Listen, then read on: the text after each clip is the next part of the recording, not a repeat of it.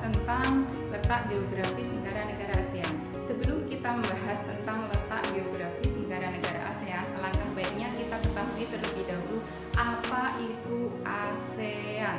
ASEAN merupakan singkatan dari Association of Southeast Asian Nations. ASEAN merupakan sebuah organisasi yang beranggotakan dari negara-negara di Asia Tenggara. ASEAN berdiri sejak 8 Agustus 1967 ASEAN diprakarsai oleh lima negara, salah satunya Indonesia, Filipina, Singapura, Malaysia, dan Thailand.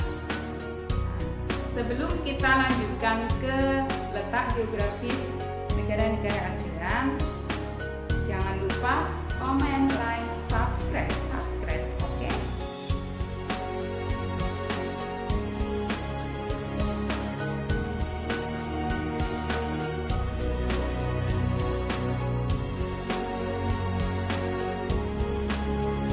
Letak geografis ASEAN Letak geografis menunjukkan letak suatu daerah dilihat dari kenyataannya di bumi dan dibandingkan dengan posisi daerah lain.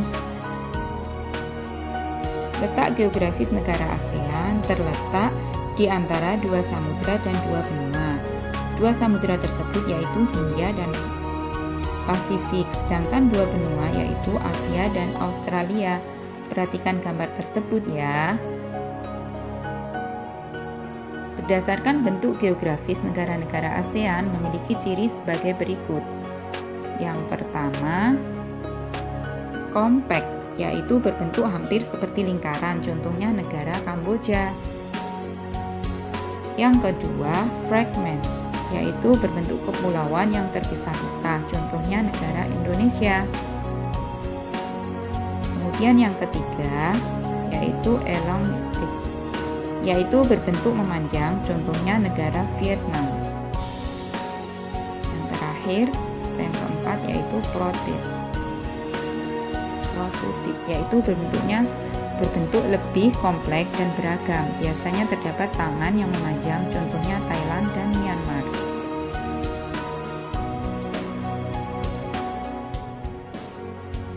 Letak koordinat adalah titik yang berpedoman pada garis latitude atau garis lintang dan garis longitude atau garis bujur suatu daerah pada peta. Sedangkan letak astronomis negara ASEAN terletak pada 28 derajat lintang utara sampai 11 derajat lintang selatan dan 93 derajat bujur timur sampai 141 derajat bujur timur. Cukup sekian, semoga video ini bermanfaat ya. Terima kasih. Assalamualaikum warahmatullahi wabarakatuh.